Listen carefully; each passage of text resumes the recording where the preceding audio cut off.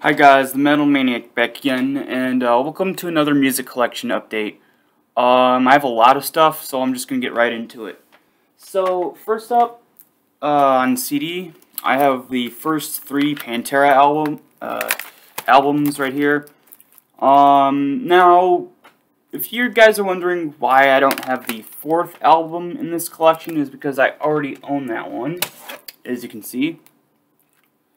Um, but yeah, uh, I I have listened to these before, so uh, um, I will definitely do a review on uh, um each of them, uh, probably within the next week or so. Um, but yeah, and uh, there, uh, Metal Magic, uh, Projects in the Jungle, and I Am the Night. Alright, now for the vinyl. First up is a album by a band I've never heard of before, uh, and that's Hex. Um, this album apparently is a double feature. Uh, it has the uh, full-length album as well as a EP. Um, but yeah, haven't heard of these haven't heard of these guys before, but uh, definitely eager to check this album out. Shit, hold on.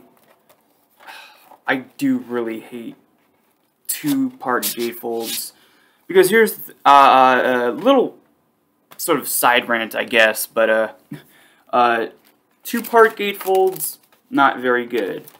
If it's a three-part gatefold, for some reason it works fine, but yeah, two-part gatefolds sometimes they just do not work right. Um, but yeah. Anyway, enough with the rambling. Um, the next thing, um, is the first Overkill album. Um, I already own the second album, and I absolutely love that album.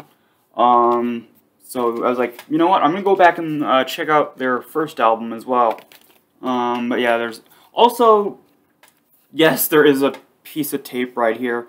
Uh, even though I bought this, you know, new off-store shelves, you know, I went to my local record shop, uh, even though it was brand new, it already had a tear on the top right here. It already, had a tear on the case. Uh, so yeah, I just had to tape over it so the tear didn't, you know, get any bigger. Um, but yeah. Alright, next up, next up is the, uh, uh, I don't know what it is. I know it's called Death Execution. Uh, of course, it's by the band Morbid. Um, but I don't really know anything else about it. I know, yeah, I don't know anything else about it other than the name. I don't know whether this is an EP or a live album or a compilation album.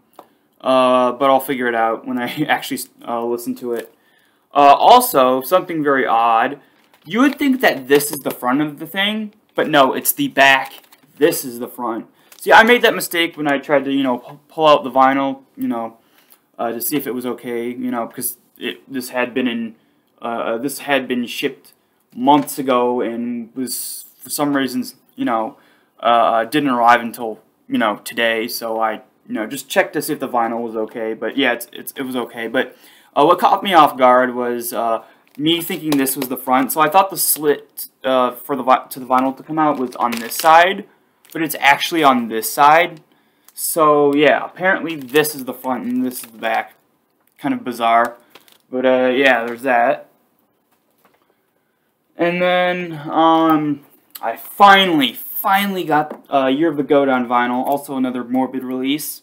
Um, uh, this one is on a gold vinyl. Uh, and this is a three a three part gatefold with triple vinyl. So again, like I said before, for whatever reason, uh, standard gatefold, the two the two flaps, uh, very very uh, uh shittily made for some reason. Like uh, every like the vinyl and stuff always gets stuck um, on the uh, thing.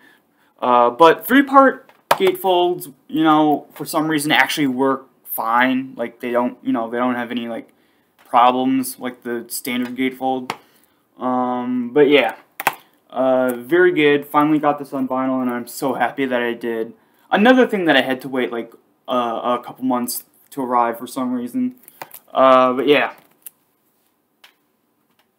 Alright, so that's about it for this video. Hope you guys enjoyed, and I will see you all next time.